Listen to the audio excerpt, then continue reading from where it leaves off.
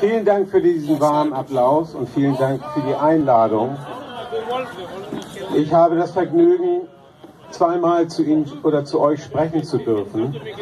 Diesen ersten Redebeitrag, der hat die Überschrift Polizei und Gewalt, also Polizeigewalt. Und bevor ich darauf, das ist relativ schwer. Lauter! Und bevor ich darauf sehr konkret eingehen werde, was allerdings auch schwere Kost darstellt, möchte ich den Bezug der Polizei zu ihrer eigentlichen Handlungsgrundlage herstellen und we weniger die Gesetzesgrundlagen skizzieren, sondern das, was das Bundesverfassungsgericht sich Anfang Dezember 2021 herausgenommen hat mit dem Durchwinken der sämtlichen Möglichkeiten des Staates in unser alle Grundrechte einzugreifen. Anders als das Bundesverfassungsgericht meint, lassen sich pandemische Entscheidungen nämlich nicht sinnvoll ohne einen Maßstab des Rechts treffen. Eine Urteilstechnik, die diese Maßstäbe runterschreibt, leistet auch dem politischen System keinen Dienst. In der Entscheidungssituation der vollkommenen Politisierung wird nämlich nicht einmal der verantwortungsvolle Blick zu den Experten helfen, weil diese die Abwägungsentscheidungen gerade nicht vornehmen können. Es drohen Stimmungsentscheidungen, getrieben von Angst und massenmedialer Radikalisierung. Das haben wir die letzten Monate alle erlebt. Man kann nur hoffen, dass der Bundes Tag dann dasjenige Argument wiederentdeckt, das Karlsruhe nicht einlösen wollte, nämlich das Argument des Rechts. Und meine Damen und Herren, das hört sich sehr waghalsig an, was ich eben vorgetragen habe. Das sind aber nicht die Exoten der kritischen Polizistinnen und Polizisten, sondern das ist der Leitkommentar aus der Frankfurter Allgemeinen Zeitung bei der Bearbeitung dieses skandalösen dieser skandalösen Entscheidung des Bundesverfassungsgerichtes. Die Orientierung, die das Bundesverfassungsgericht liefert, heißt vom Juristischen ins Deutsche übersetzt, in der Pandemie stehen die Freiheitsrechte und die Formen des Rechtsstaats zur Disposition des Gesetzgebers. Die Beschlüsse des Gerichts sind die Protokolle eines pandemischen Umbaus des Rechtsstaats. Freiheit wird durch Gesundheit bewirtschaftet. Sehen wir hier den Ausnahmezustand, den das Grundgesetz formal überhaupt nicht vorsieht, in Gestalt einer rechtsstaatlichen Uminterpretation. Man fragt sich, welche rechtsstaatlichen Grenzen dem Gericht vor Augen standen, wenn die Verhältnismäßigkeitsprüfung keine Grenzen setzt und vertikale wie horizontale Gewaltentrennung verzichtbar sind. Der Bundestag kann nur verlieren bei diesem Spiel. Und er hat schon verloren. Bravo!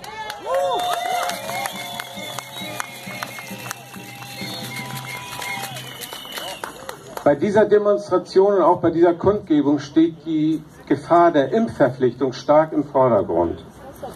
Dazu hat die Medizinethikerin Christiane Wopen von einer allgemeinen Impfpflicht abgeraten. Thomas Mertens, der Vorsitzende der STIKO, ebenso. Gesundheitsminister Lauterbach begrüßt sie.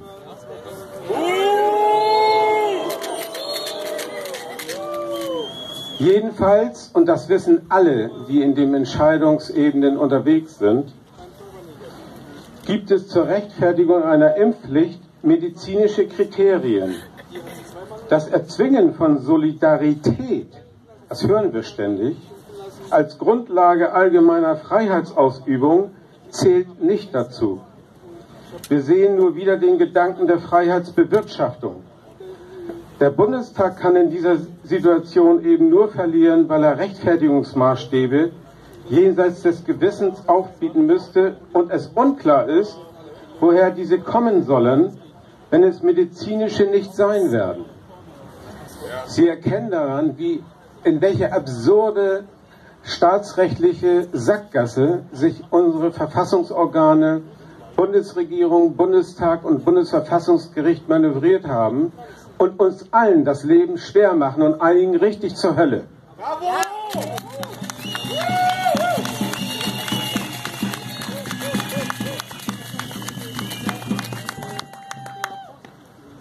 Der letzte Gedanke zu diesen etwas mehr, also rechtstheoretischen Ansätzen. In der Pandemie soll die gerichtliche Kontrolldichte gering sein. Recht soll den Griff in den Instrumentenkoffer nicht beschränken. Nicht einmal, wenn es um offensichtlich unsinnige Maßnahmen geht, wie etwa, dass Eheleute ohne Kontaktbeschränkung nachts nicht spazieren gehen durften, obwohl die Ausgangssperre nur der Vollzugserleichterung von Kontaktbeschränkungen diente. Normalerweise hätte man in Karlsruhe geurteilt, die Maßnahme ist nicht geeignet, den Zweck zu erreichen. Also unverhältnismäßig. Als Teil eines Gesamtschutzkonzeptes war ungeeignetes, aber gleichwohl verhältnismäßig für diese Richter in Karlsruhe. Sie wissen, dass der Präsident des Verfassungsgerichts, der sitzt dem ersten Senat vor, der hier auch entschieden hat, Herr Habert ist. Ein skandalöser Jurist, der aus dem Frak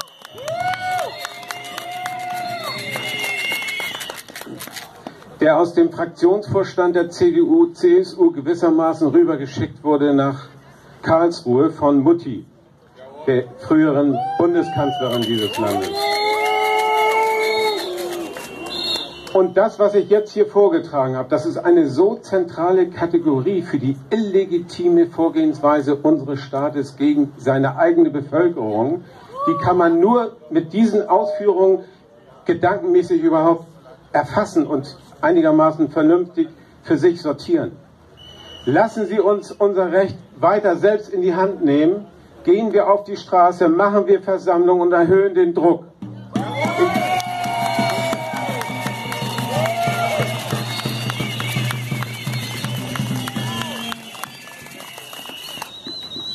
Sie wissen, ich komme aus Hamburg. Ich war über 30 Jahre dort bei der Polizei tätig, in allen möglichen Verwendungen, zuletzt also Wirtschaftskriminalist im Landeskriminalamt.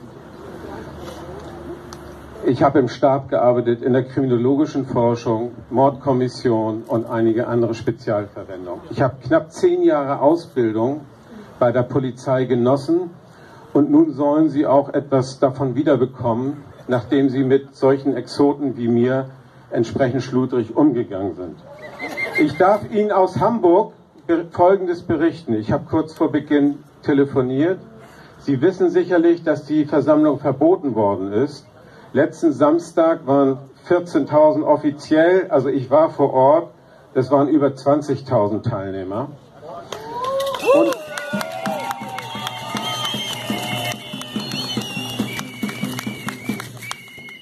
Die Versammlung war durch und durch bürgerlich, also soziologisch sogar überrepräsentativ zum soziologischen Durchschnitt in unserem Land.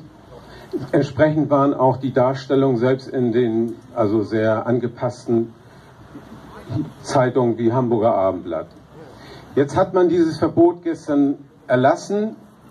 Die Veranstalterin hat jetzt fünf eigenständige kleinere Kundgebungen beantragt für heute hat sie auch genehmigt bekommen und die Kundgebungsplätze platzen aus allen Nähten in den Stadtteilen in Hamburg.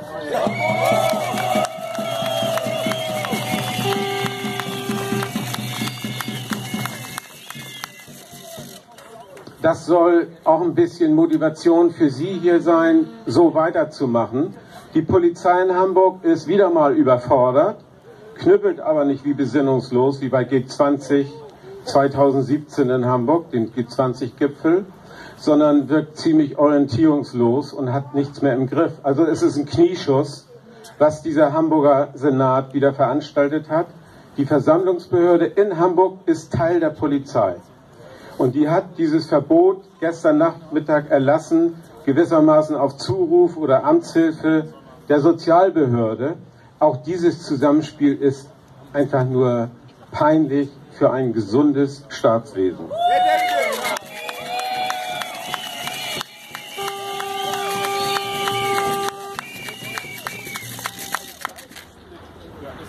Jetzt würde ich endlich gerne auf die Polizei im engeren Sinne eingehen. Das ist inzwischen auch ein ausgesprochenes Trauerspiel in der Analyse und dann eben auch in der Bewertung, weil der Qualitätsverlust längst auf der schiefen Bahn seit mindestens 15 Jahren nur noch eine Richtung kennt, nämlich nach unten. Die Deprivation der binnenkulturellen Situation in unseren bundesdeutschen Polizeien. Es gibt 19 verschiedene Polizeien und plus der Bundestagspolizei dann auch die 20. ist erschreckend. Inzwischen, meine Damen und Herren, ist es so, dass wenn Bürger Opfer von Polizeigewalt werden und die Beweislage nicht durch Journalisten oder laufende Bilder und andere Beweismittel, die schwer zur Seite zu schieben sind, durchgehend ihren Mandanten empfehlen, auf irgendwelche Strafanzeigen gegen Polizeibeamte zu verzichten, das Ganze als Lehrgeld zu betrachten, weil völlig klar ist, welches Programm stattfindet, wenn man Polizeibeamte beschuldigt. Es laufen die Gegenverfahren, Widerstand gegen die Staatsgewalt, Beleidigung, Ehrverletzungsdelikte schlechthin, also alles Mögliche. Und dafür haben dann auch in der Regel diese Beamten entsprechende Zeugen, uniformierte Zeugen zur Seite. Alleine dieser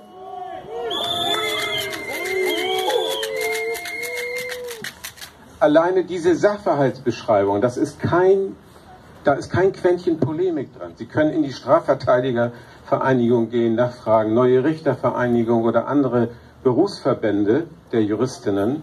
Sie werden Ihnen das dort alles so bestätigen, wie ich das gerade dargestellt habe.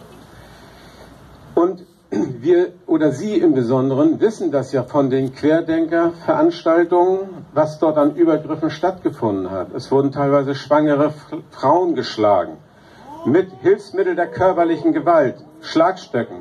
Dieser Vorfall ist in Berlin. Fünf Beamte waren tätig, dokumentiert.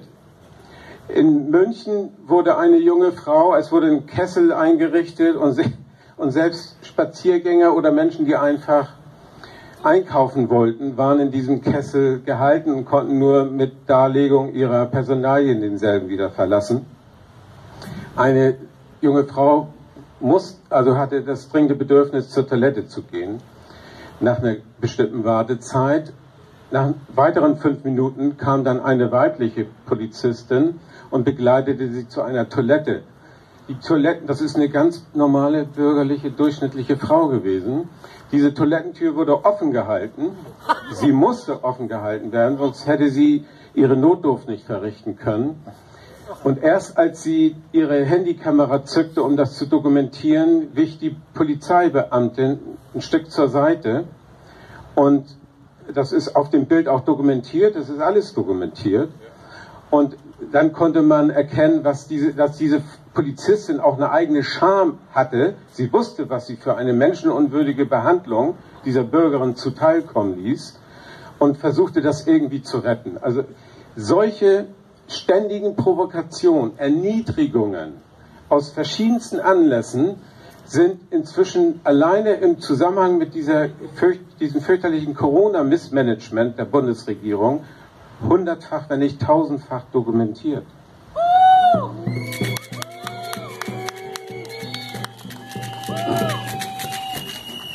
Für Außenstehende ist das unglaublich schwer nachvollziehbar, was man über die Zustände in den Polizeien berichtet. Wir haben jetzt wieder die letzten zwei Wochen mehrere Aufnahmeanträge bekommen. Eine noch relativ junge Frau, vorzeitig pensioniert, völlig entsetzt, was ihre Kolleginnen und Kollegen auf den Straßen treiben, hat den Weg zu uns gefunden. Im vorletzten Herbst waren es das sind relativ wenige Zahlen, aber es sind elf Aufnahmen gewesen. Das ist für unseren kleinen Berufsverband, wir sind ein eingetragener Verein und der kleinste Berufsverband bei den großen Polizeigewerkschaften, ist das eine Hausmarke. Sowas kannten wir nur aus den 1980er Jahren, kurz nach unserer Gründung. Das spiegelt nochmal, welche ohnmächtige Vorgehensweise durch die Polizeien stattfindet, sonst hätten wir nicht diesen relativ schönen Zulauf. Wir haben bei Stuttgart 21 vielleicht drei Aufnahmeanträge bekommen. Sie erkennen daran, dass der Staat mit Hilfe der Polizei versucht, seine schlechte Legitimation notfalls auf der Straße auch mit Gewalt durchzusetzen. Jawohl, so sieht's aus.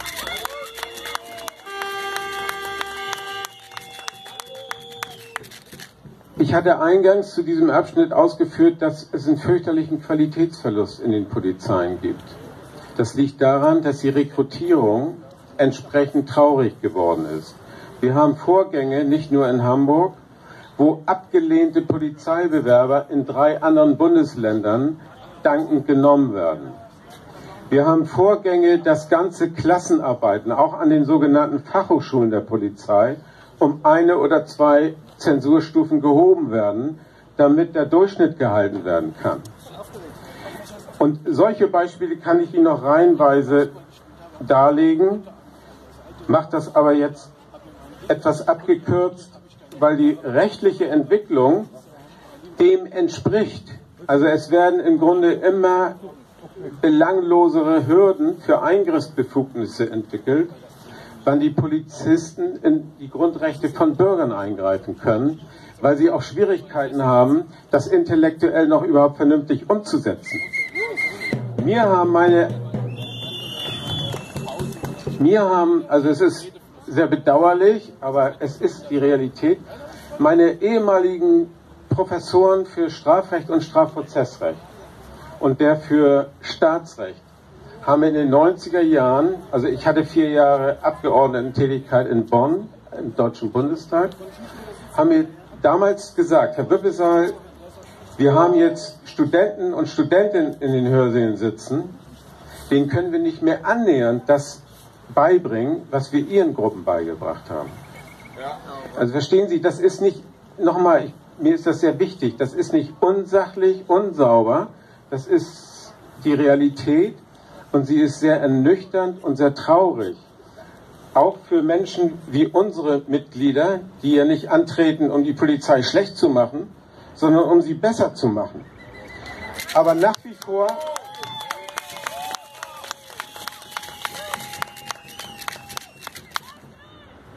Aber nach wie vor ist es so, dass sich selbst höchste Polizeiführer für jeden Schweinkram hergeben.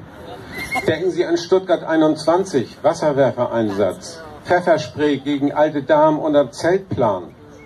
Ähnliches haben wir auch jetzt vor anderthalb Jahren bei den Corona-Sachen erlebt, nicht nur in Berlin. Übermäßige Pfefferspray-Einsatz sowieso eines der relevantesten Waffen vor dem Einsatz der Schusswaffe. Das wird inzwischen in einem Ausmaß und so selbstverständlich angewendet, dass einem nur das Grausen kommen kann der Korpsgeist, Sie haben jetzt das Glück, dass Sie hier Polizisten haben, die einigermaßen leger auftreten. Sie lassen die Versammlung laufen, den Demonstrationszug ebenfalls.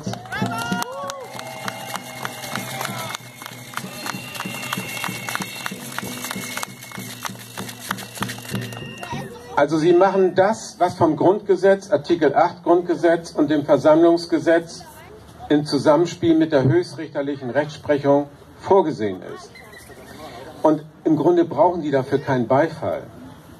Wenn Sie Ihr Auto in die Werkstatt geben und Winterreifen aufziehen lassen, klatschen Sie auch keinen Beifall, wenn ein Reifen abgeht, weil der Monteur die Mutter nicht richtig angezogen hat. Das ist Ihr Job.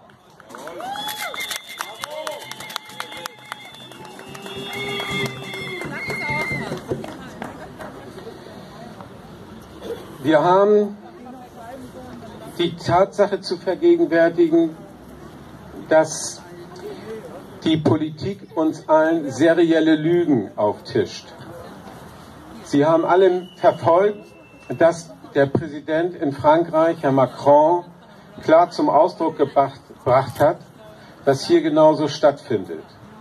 Man will die Geimpften nerven, gewissermaßen jagen, bis sie die Spritze endlich in den Arm setzen lassen.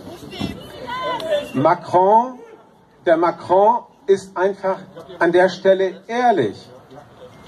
Man kann sagen, er ist ein Arschloch, dass er so denkt. Aber er ist ehrlich. Unsere Politiker, die machen genau dasselbe, aber sind total unehrlich uns gegenüber. Das wird ja immer behauptet, Schutz für unsere Gesundheit, gerade der Älteren, also so ein Typ wie mich jetzt mit 66 Jahren. Das ist alles absurd. Dazu werden andere noch Ausführungen machen.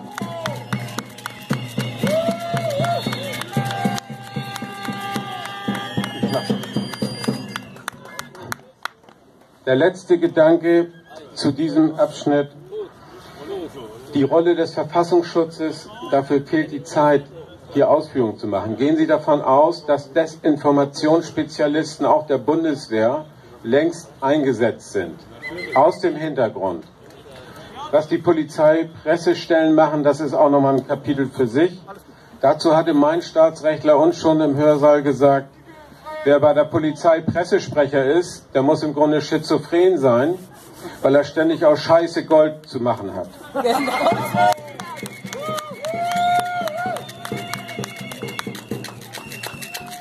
Und ich zitiere auch noch den ehemaligen Rektor der baden-württembergischen Fachhochschule Polizei, der völlig entnervt den Job beendet hat, zurück nach Bielefeld gegangen ist, seinen Lehrstuhl als Kriminologe wieder aufgenommen hat der hatte mal das Bonmot geprägt, Polizei, und er wusste, wovon er spricht, nach den Jahren an der Fachhochschule dort.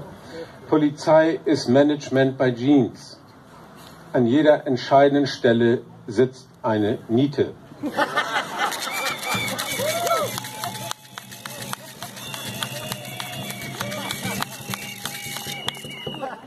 Und es gibt natürlich exzellente Köpfe bei der Polizei aber die Ausnahmen bestätigen leider die Regel.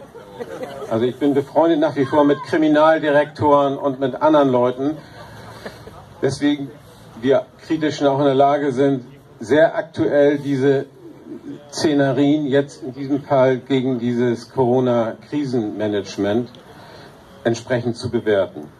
Die Krönung aus den Sicherheitsorganen ist die Kreierung eines neuen Extremismusbegriffes durch den Verfassungsschutz. Man kriegt die ganzen Querdenker nicht in irgendeinen Extremismus. Ich habe das ja auch mehrfach gelernt. Und das ist auch staatsrechtlich eigentlich sehr klar definiert gewesen. Und jetzt kommen sie damit und sagen, wer den Staat delegitimiert, also wie ich das eben gemacht habe, mit dem Bundesverfassungsgericht, das sich selbst praktisch die Herrschaft des Rechts abgesprochen hat. Und wie gesagt, das ist ein Zitat aus der Frankfurter Allgemeinen Zeitung, bekanntermaßen nicht linksorientiert. Wer Staat, den Staat delegitimiert oder Politiker verleumdet oder irgendwie übel wird, sei ein Extremist. Das würde bedeuten, wenn man das sauber zu Ende denkt, die ganzen Politikkabarettisten sind als allererste in der Extremismuskiste. Ja.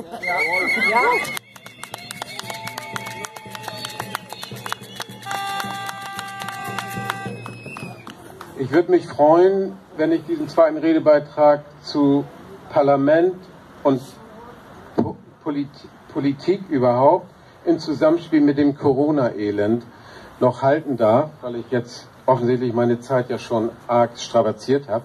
Ich bedanke mich ganz herzlich für Ihre Aufmerksamkeit. Das kommt bei mir an, auch wenn Sie für mich dort im Dunkeln stehen. Und ich hoffe, dass Sie mit diesem Schwung auch den nächsten Samstag oder wann Sie wieder diese Aktivität machen, fortsetzen können.